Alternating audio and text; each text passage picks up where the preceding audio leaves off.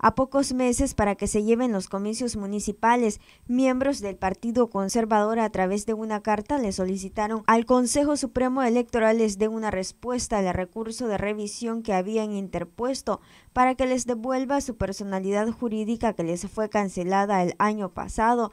Asimismo, dicho consejo les recibió los folios correspondientes de la Convención Nacional de la nueva Junta Directiva Nacional de esa organización. El hecho de que tuviésemos un recurso nos faculta como partido organizarnos, presentarlo e informar al Consejo.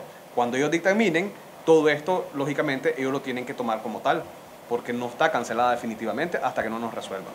Y eso es lo que le consultamos el 2 de junio, de que cómo está el estado de ese proceso y cuándo tendríamos respuesta y pedimos también este, un despacho para hablar todos esos temas y tratar de entrar al proceso electoral de este año.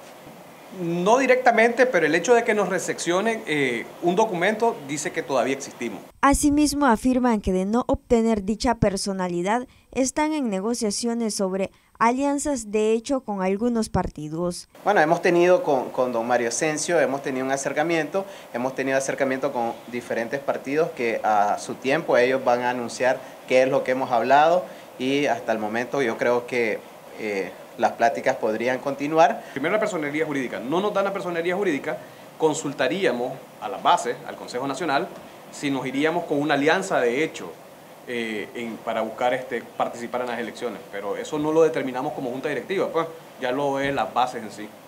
Si hasta el momento no han convocado a las elecciones municipales, creo que todavía tenemos tiempo para tener respuesta de la devolución de la personería jurídica. Según la notificación que emitió el Consejo Supremo Electoral en mayo del año pasado, la decisión se tomó porque el Consejo Nacional del Partido Conservador aprobó por unanimidad el pasado 9 de mayo no participar en las elecciones presidenciales, quien para ese entonces su presidente era Alfredo César. Noticias 12, Darlene Telles.